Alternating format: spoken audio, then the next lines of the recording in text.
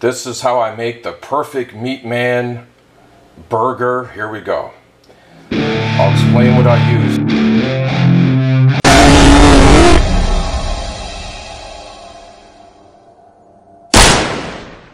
Ah! Yes!